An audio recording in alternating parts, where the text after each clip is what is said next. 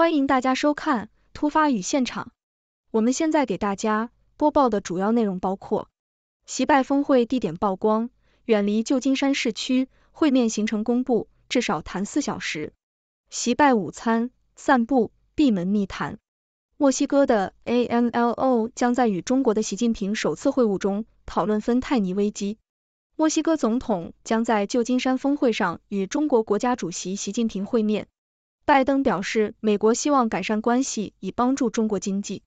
特朗普与检察官就电视转播选举干预审判发生冲突。请大家收看。习拜峰会地点曝光，远离旧金山市区，会面行程公布。习近平拜登午餐、散步、闭门密谈。综合新闻，美国媒体报道。习拜会将在星期三，十一月十五日于旧金山以南的费罗利庄园举行。美中两国元首将就一系列双边和全球问题展开约四个小时的深入会谈。美国之音引述消息人士报道，美国总统拜登和中国国家主席习近平将在亚太经合组织 APEC 峰会期间，在具有历史意义的费罗利庄园 （Filoli Estate） 会晤。费罗利庄园拥有一座具有乔治亚复兴风格的豪宅，具有英国文艺复兴时期风格的花园，占地二点八公顷的果园和一点六公里长的小径。报道称，习近平和拜登将在星期二十四日抵达旧金山。习拜会活动预计包含工作午餐、在庄园散步，以及一场较小型的会议。美国国家安全顾问沙利文和国务卿布林肯会出席这场较小型会议。其他高级官员将就特定课题各自举行会议。墨西哥的 AMLO 将在与中国的习近平首次会晤中讨论芬太尼危机。彭博社，墨西哥总统安德烈斯·曼努埃尔·洛佩斯·奥弗拉多尔 AMLO 将在本周与中国国家主席习近平会面，讨论影响北美的芬太尼危机。AMLO 与习近平的会晤正值美国加大对中国和墨西哥打击毒品走私的压力之际。墨西哥和中国最近就这个问题进行了会谈。墨西哥希望与中国分享关于该药物在太平洋地区的运输情报。美国总统乔·拜登和习近平计划在旧金山宣布一项单独协议，该协议将使北京方面打击芬太尼的制造和出口。拜登总统和拜登候选人明天会见习近平。华盛顿邮报，拜登总统计划于周三与中国国家主席习近平会晤，两位领导人都面临着相当大的国内政治压力。对于这次峰会，预期不高。美国官员只谈到了两国之间的竞争管理。这次会晤将重新开启最近关闭的沟通渠道。从地缘政治的角度来看，这一点非常重要，因为它将避免紧张局势升级为冲突。然而，对于候选人拜登来说，重新开启这些渠道可能不受他的选民欢迎。两位领导人还将讨论芬太尼问题，这是一种合成阿片类药物，被认为是美国十八至四十九岁人群死亡的主要原因。预计拜登总统将要求习近平主席在这个问题上采取具体行动。习近平主席处于一个脆弱的位置，他的地位和权力掌握看起来不确定。中国百分之五的增长目标似乎无法实现。墨西哥总统将在旧金山峰会上与中国国家主席习近平会面。路透社，墨西哥总统安德烈斯·曼努埃尔·洛佩斯·奥弗拉多尔将在周四与中国国家主席习近平在旧金山举行的亚太经合组织 APEC 峰会期间会面，这将是他们首次亲自会面。预计他们将讨论贸易和改善双边供应链的方式。墨西哥与美国的经济关系将是洛佩斯·奥弗拉多尔与美国总统乔·拜登会晤的主要议题。他们还将讨论移民、边境安全以及打击毒品走私的努力，包括控制用于制造芬太尼的前体药物的到达。此外，洛佩斯·奥弗拉多尔还将与加拿大举行双边会晤，很可能是与加拿大总理贾斯汀·特鲁多会面。拜登表示，美国希望改善关系以帮助中国经济。彭博社，美国总统乔·拜登表示有意帮助中国陷入困境的经济，但不以美国的知识产权为代价。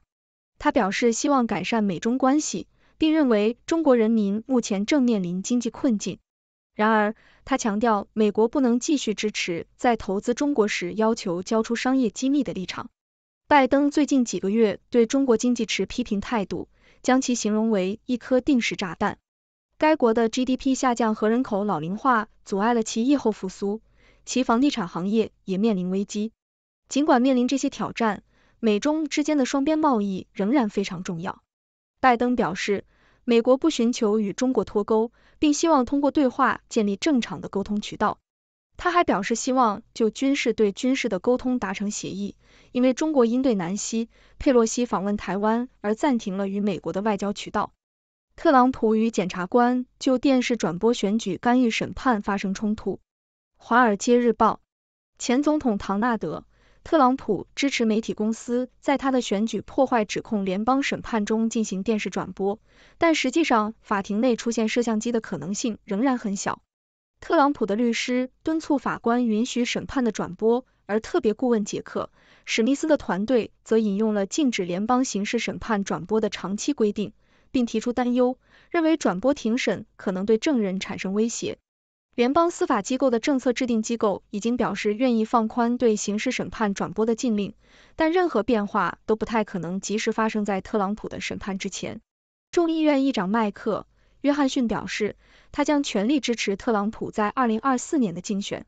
华盛顿邮报，众议院议长麦克·约翰逊 online 周二表示，他全力支持唐纳德。特朗普二零二四年竞选总统，他告诉 CNBC 的 Squawk Box 节目，他全心全意支持这位前总统。我全力支持特朗普总统，约翰逊说。我预计他将成为我们的候选人。我们必须让拜登成为一届总统。今日股市新闻：通胀数据平稳，道琼斯指数大涨超过四百五十点。雅虎，美国股市周二大幅上涨。投资者消化了低于预期的通胀数据。截至中午交易时，道琼斯工业平均指数上涨超过百分之一点三，科技股重点指数纳斯达克综合指数上涨约百分之二。十年期国债收益率下跌十七个基点，接近百分之四点四六。在企业方面，家得宝的季度业绩显示，同店销售下降幅度小于预期。这家家居改善零售商将率先发布本周的塔吉特和沃尔玛等公司的报告。尽管消费者支出在面对较高借贷成本时保持稳定，但这并没有对零售股票产生广泛的提振效果。中国工商银行的网络黑客攻击令人震惊。金融时报。最近对中国工商银行金融服务有限公司 （ICBC-FS） 的勒索软件攻击，应该成为金融行业和监管机构加强网络安全工作的警钟。据金融时报的一篇专栏文章称，文章强调了网络攻击者日益复杂的技术以及生成式人工智能增加攻击速度和规模的潜力。作者呼吁金融机构加强合作，更好地将网络风险融入金融稳定评估，并改进应急计划。德国如何看待习拜登峰会？德国之声：随着美中紧张关系升级，德国发现自己处于困境之中。美国和中国目前正处于经济战争中，这可能会危及全球应对气候变化的努力。德国在可再生能源转型方面严重依赖中国产品，陷于与美国的联盟和与中国的经济联系之间。二零二三年七月，德国政府采取了一项中国战略。试图减少对中国的依赖并分散风险。然而，北京方面回应称该战略是适得其反的，并强调中国是德国的合作伙伴而不是对手。德国内部的冲突也反映在其执政联盟中，绿党对中国采取更强硬的立场，而总理奥拉夫·肖尔茨对采取针对中国的限制措施持谨慎态度。德国的困境在华为案中得到了体现，尽管北约和美国发出警告。德国的移动通信供应商仍在继续使用华为的组件。德国在美国和中国之间的平衡行动不仅仅是德国的问题，也是欧盟作为一个整体面临的挑战，因为它试图在两个大国之间保持影响力。尽管会谈进行，但美中竞争加剧。国会报告发现，彭博社，美中经济与安全审查委员会向国会提交的一份报告警告称，美中紧张关系加剧。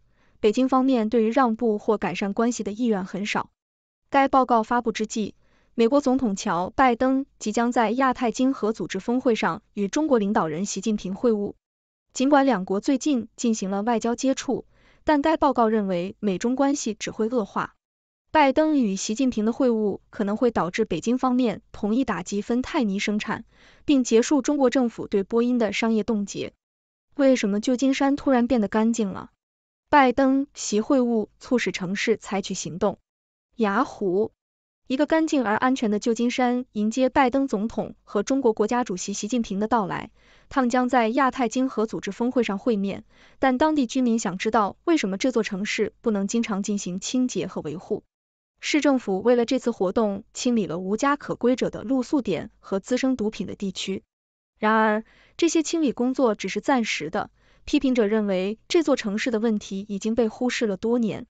这座城市一直在与心理健康和药物成瘾危机、无家可归人口和猖獗的财产犯罪做斗争。即使城市努力进行清理，居民们也想知道为什么城市不能经常保持整洁。其他人认为，城市的突然改善凸显了旧金山成为一个干净而安全的潜力。Salesforce 创始人马克·贝尼奥夫表示，如果旧金山不恢复城市的清洁度，他将搬迁公司的年度会议。加利福尼亚州州长加文·纽森解释说，这座城市正在为到来的世界领导人进行清理，但批评者认为他的行动是出于他对总统职位的野心。而 PT 解释。拜登在旧金山会见习近平时可以期待什么？雅虎，中国国家主席习近平和美国总统乔拜登将于周三在旧金山会面，之后将参加亚太经合组织 APEC 峰会。该峰会旨在改善两国之间的沟通，减少冲突。预计会议将讨论一系列问题，从中东冲突到俄罗斯入侵乌克兰，以及台湾、人权、人工智能和公平贸易和经济关系。白宫希望在恢复军事联系和打击芬太尼贸易方面取得进展，这可能需要解除对中国的人权制裁。高盛越来越无聊了。彭博社，高盛已经失去了他的自信和神秘感。贝瑟尼·麦克林在商业内幕上写道。他补充说，这家投资银行近年来的重大战略举措是扩大到消费银行业务，而这被认为不如高风险的并购和数十亿美元的交易库。麦克林表示。高盛的首席执行官大卫·所罗门希望摆脱高盛自身的投资，并将其重塑为一家另类资产管理公司。然而，他质疑高盛能否与拥有合作伙伴文化的私募股权公司竞争，这种文化中员工赚到的钱会被分配给他们自己。麦克林认为，高盛目前的做法对股东来说更好，但可能不适合合作伙伴。习近平无法拯救共产主义中国免于灾难。英国《每日电讯》：中国国家主席习近平与美国总统乔拜登的会晤旨在稳定中美关系，并确保继续获得美国的友好、技术和资本支持。尽管在国内被誉为核心领导人，习近平对中国最重要的外部关系恶化感到担忧。中国的经济实力和地位是其权力关系的关键，但该国面临着经济模式失衡、宏观经济不稳定。破碎的房地产市场和糟糕的治理等问题，习近平必须解决这些挑战，以防止进一步的经济困境和潜在的不稳定。麦克·约翰逊支持特朗普竞选二零二四年共和党提名。华尔街日报，众议院议长麦克·约翰逊 （R.Y.） 周二公开支持唐纳德·特朗普的总统竞选活动。对于前总统关于二零二零年选举被窃取的虚假说法的质疑不予理会，并将特朗普的法律挑战描绘为政治动机驱使的行为。我全力支持特朗普总统。约翰逊在 CNBC 的一次采访中表示：“各位观众朋友，大家好，我是来自六度世界的六博士。今天我为大家带来了一系列新闻，主要是关于中美两国元首习近平和拜登的会晤，以及其他一些国际事件。”让我们来做一个总结和深入分析吧。首先，习拜峰会的地点和行程已经曝光。根据报道，这次会晤将在旧金山以南的费罗利庄园举行，习近平和拜登将进行约四个小时的深入会谈。从报道中我们可以看出，这次会晤的行程安排的相当紧凑，包括工作午餐、在庄园散步以及一场小型会议。这次会晤的地点选择在费罗利庄园，是一个具有历史意义的地方。这也显示了中美两国在此次会晤中希望达成的共识。除了中美峰会，墨西哥总统 AMLO 也将与习近平会面，讨论北美地区的芬太尼危机。这是在美国加大对中国和墨西哥打击毒品走私压力的背景下进行的。墨西哥希望与中国分享关于芬太尼在太平洋地区的运输情报。美国和中国计划宣布一项单独协议，以打击芬太尼的制造和流通。此外，拜登总统和习近平还将讨论其他一些重要问题，例如中美经济关系、人权问题等。拜登总统希望改善美中关系，帮助中国度过经济困境，但同时也强调美国不会为了经济援助而放弃知识产权保护。这一点显示出美国对中国经济的担忧，但同时也希望通过对话建立正常的沟通渠道，避免关系进一步恶化。除了习拜峰会，还有其他一些国际事件值得关注，比如中国工商银行遭遇了网络黑客攻击，这引起了人们对网络安全的关注。另外，德国也面临着中美之间的平衡问题，德国政府试图减少对中国的依赖并分散风险，但同时也要维护与中国的经济联系。这些事件都反映了国际关系的复杂性和挑战性。总的来说，习拜峰会是一个重要的国际事件，关系到中美两国以及全球的利益。我们希望这次会晤能够取得积极的成果，改善双方的关系，共同应对全球挑战。同时，我们也希望国际社会能够关注其他重要的国际问题，共同促进和平与发展。最后，我想邀请观众朋友们参与讨论，你有什么样的想法？对于中美关系、习拜峰会或其他国际事件？你有什么看法？请在留言区分享你的观点和问题。谢谢大家。六度世界观察员六博士签名。谢谢您的收看。上面播报的内容是六度团队推荐的全球专业媒体、智库、政府机构和行业专家的最新报道、分析简报。更详细的内容，请大家去这些媒体、智库的网站阅读。这些内容并不一定反映六度简报的立场，亦不能作为任何决策的建议。六度团队由专业媒体人、学者、科学家组成的独立新型媒体，大家可以根据自己的专业要求订阅各种简报。网址是六度 brief 点 com。您在世界任何地方都可以通过电邮收到六度简报。